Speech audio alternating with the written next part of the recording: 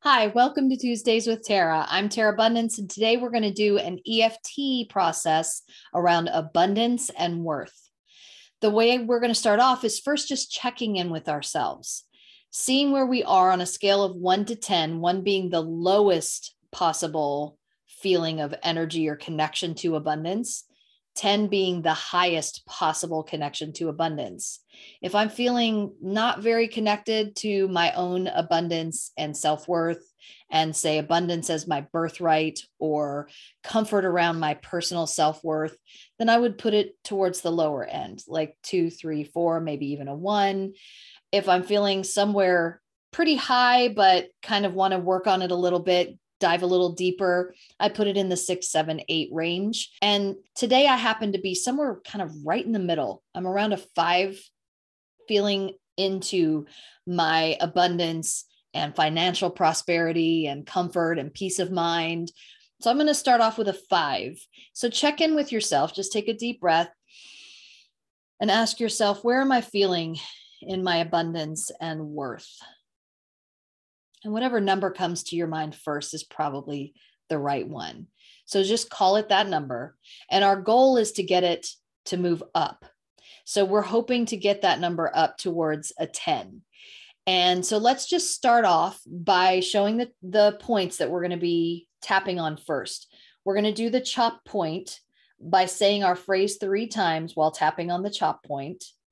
And then we're going to go to the top of the head, saying of the phrase or any iteration of the phrase, the eyebrow point, side of the eye, under the eye, under the nose, under the bottom lip, collarbone, under the arm.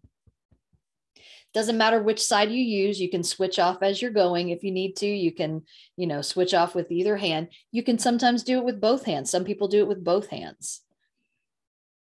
Okay.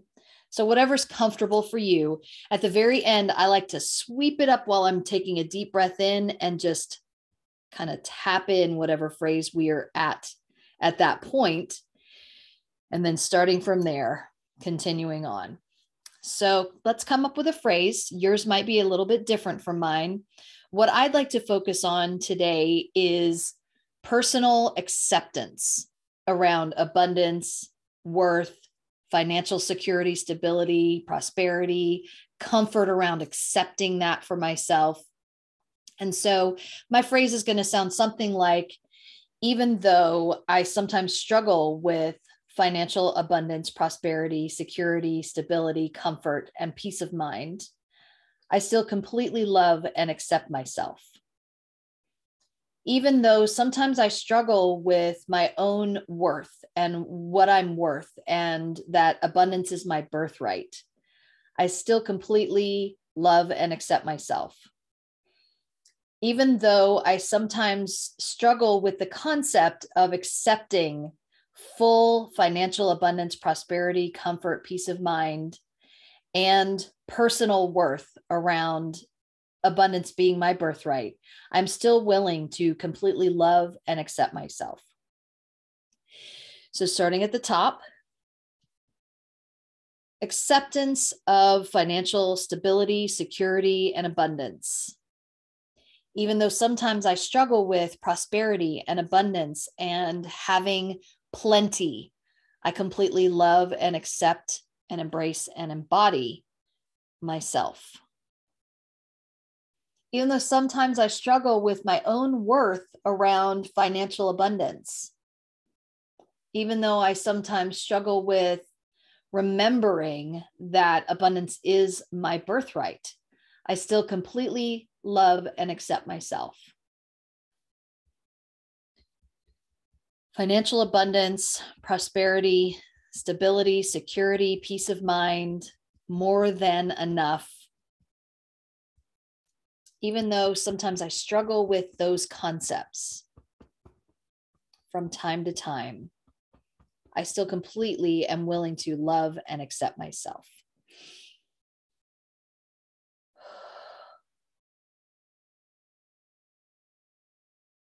Good.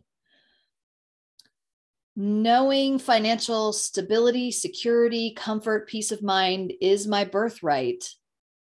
And also knowing that sometimes I struggle with this concept. I am willing to completely love and accept myself. Even though sometimes I have difficulty accepting my full self worth and worth around abundance and prosperity and financial comfort, peace of mind, I am still willing to completely love and accept myself. Even though sometimes I struggle with the idea of having more than enough, I am still willing to completely love and accept myself.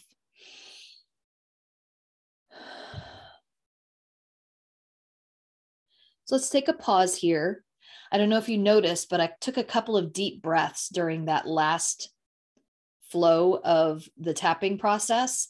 And what that tells me is that something is shifting in my field and my energy. So when I tap in again and really tune into where the number might be for me, is definitely moved up from a five and it's somewhere around seven, seven and a half.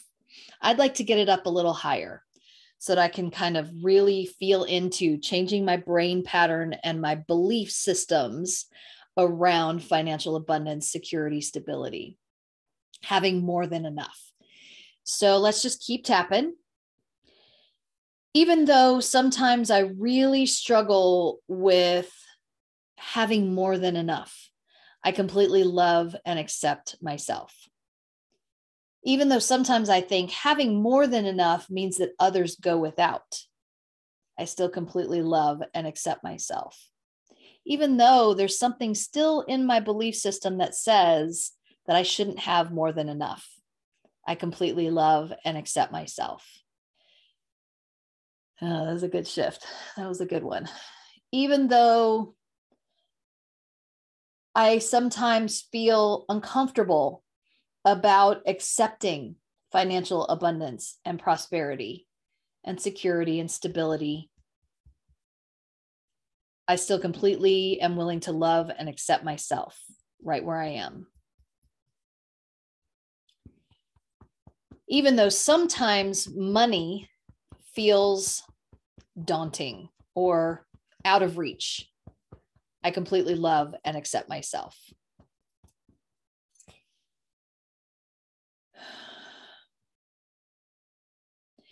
even though sometimes I think that money isn't necessarily important or for me, I still am willing to completely love and accept myself.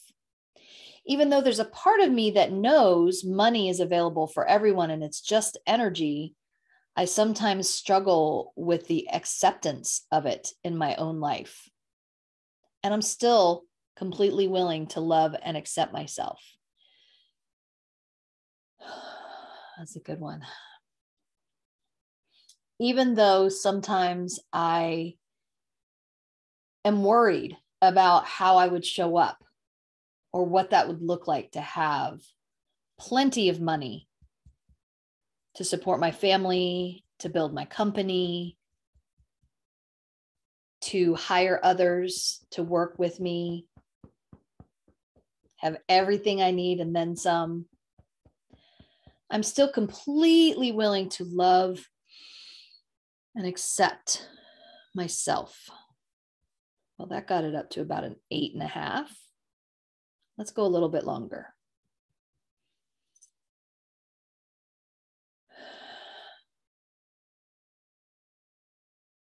So now I'm starting to feel like instead of continuing with that phrase, I'm going to shift gears into a little more positive perspective and acceptance so that I'm changing the brain pattern in my brain and in my DNA concepts of beliefs and all of that into a more supportive and positive place. So I'm going to say some positives and see how I feel about that. Acceptance of money and prosperity and abundance in my life is my birthright. I deserve to have all I need and more. I know that when I have more, I'm able to do more things to support and help causes that I love and believe in. Even though I know that these causes and people that I would hire, once I have lots and lots of money, are beneficial to the world and to individuals. I'm completely willing to love and accept that I am worth all that and more.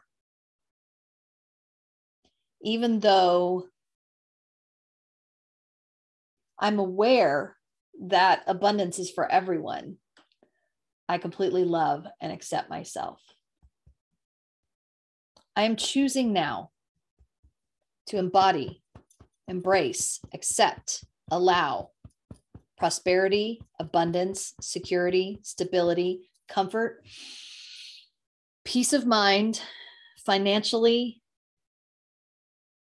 and in self worth.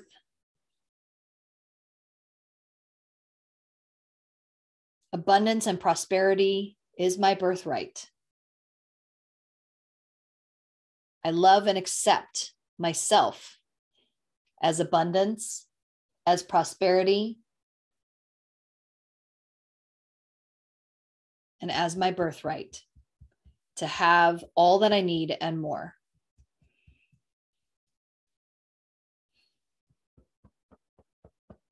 I completely love and accept and embrace and embody abundance and prosperity on all levels in my life now and building from this point more and more every single moment of every day.